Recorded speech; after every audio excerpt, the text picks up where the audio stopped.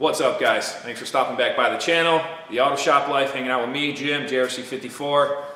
So guys, it's that time of year again. Just got the old uh, update on the Verus. We'll go ahead and update this thing to 20.2. Check it out.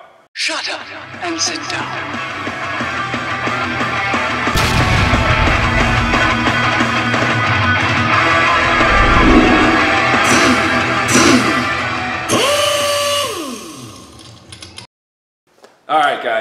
So, as you guys know, I use one of my main scanners is a Snap-on Verus. Uh, I'm on this subscription program, so I get these updates. You know, obviously two a year. You know, I'll get the point two and point four.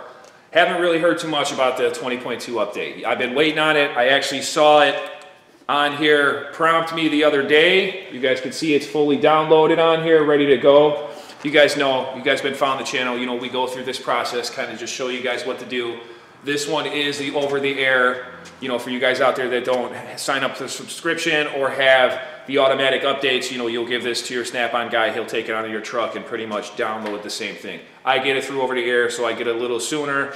Like I said, I've had this on here for maybe a full week in general. It took a couple days to download because I kept turning it off and all that stuff, but it looks like it's fully downloaded, ready to install. I'll get set up on the uh, workstation here and take you guys through the process. Check it out. All right, so before we get started, like I said, I really don't know, you know, the last update, the last two updates were pretty great from Snap-on. Um, I really haven't, I haven't been following the updates, you know, with the recent events, everything that's going on. I have certain things on my mind and, you know, other non, important things just haven't been thought about. Uh, so looking to update, you'll see a little eye, little eye icon, or it's you know shaped like a little scanner down under. It'll be flashing red. You'll hit that. It'll tell you if you're up to date or not. You go ahead and download it, and uh, you know that's pretty much how you're going to do it. But before we do that, we'll drag that out of the way. Kind of get a glimpse of what the 19.4 looks like here. Go ahead and kick off the suite. Let it boot up. Try to take care of this glare here. Get you guys zoomed in a bit.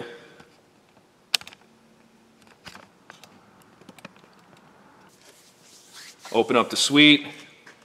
And most of the time, this is what, you know, the first thing I look at is when the suite opens up, you know, what kind of icons they got, you know, what's different, what did they add, things like that. Um, you know, pretty much here you got, you know, the regular going to the scanner function, you got your generic, your, your guided component test to get into your scope, the SureTrack information, your cloud, Snap-on Cloud. I've actually never set this up on here yet. I do not save uh, from here. I save from the other scanner I got. Uh, vehicle history, quick lookups, data manager, training and support, system setting, and then the exit. This has been changed a few updates. You know, I kind of like this layout. I know each scanner is going to be different, like the Zeus, you know, is not as colorful, or maybe some of the icons, you know, if you have, like, the, if you're using the Triton or anything like that, you're going to have less icons. If you don't have a scope on here, you're not going to have that on there. But as you guys can see, we're at the 19.4 now, so I'll pretty much close this out. We'll go ahead and hit the little icon that I told you guys. That should open up. Check for updates. And after you check for updates, this popped up. It actually launched the suite again. Um, so I paused it real quick, but I do want to close the suite while this is uploading or, or installing. So I'm going to exit out of that, drag this back up. We're going to go to install now. Go ahead and click that icon.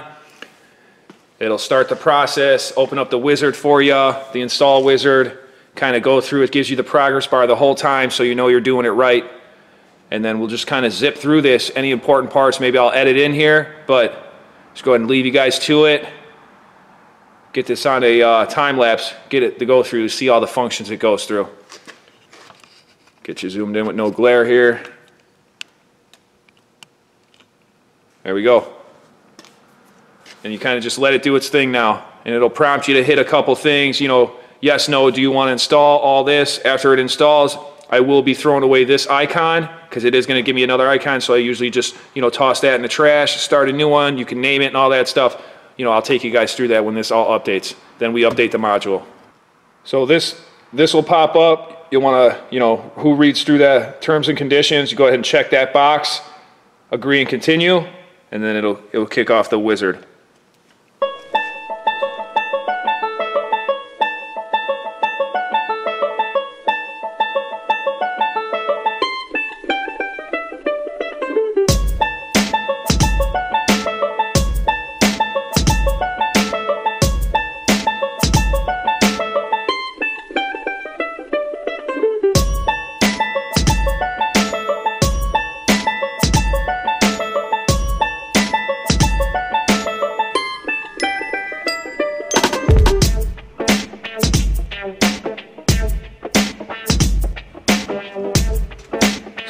This prop-up installation has complete successfully. You may need to update the firmware on your scanner module, which is this. We'll hit OK.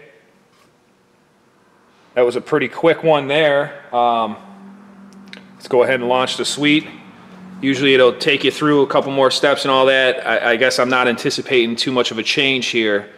You know, it, they probably didn't change too much on this 20 as opposed to just putting in the new vehicle information, obviously updating that. Um, can already tell the 20.2 icon's different.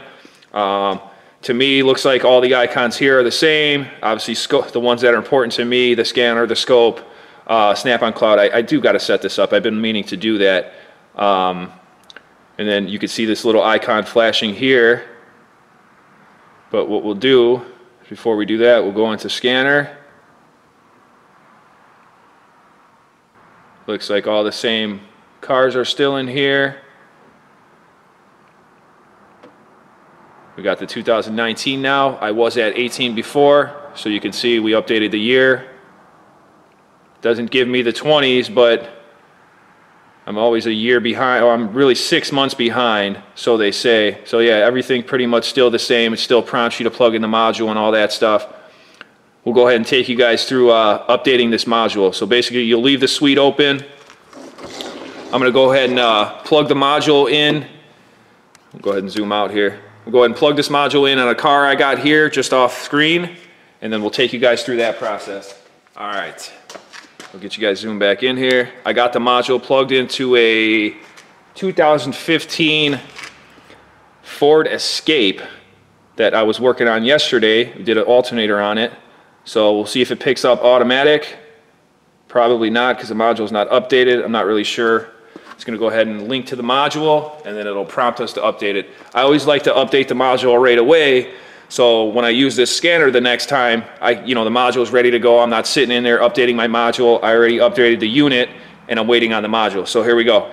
It's going to prompt you to update available for your, the module. Do not power down. I got the car on. We're going to go ahead and update now. And then it'll take you through the progress.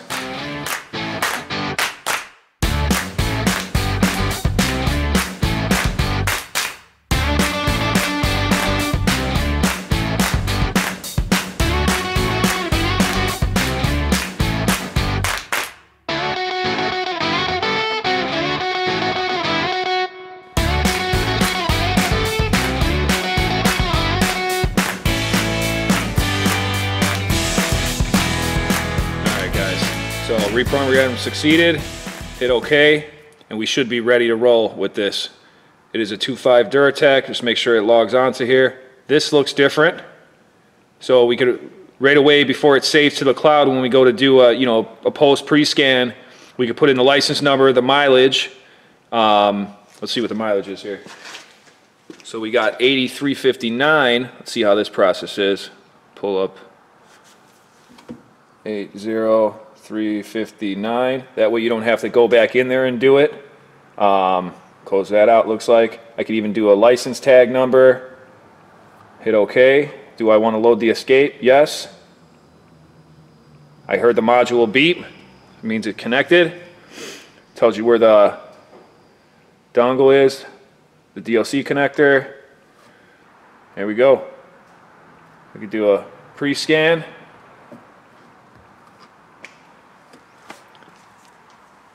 Did an alternator on this the other day for some U codes that were in it. Had a battery light on, all the good stuff, typical stuff.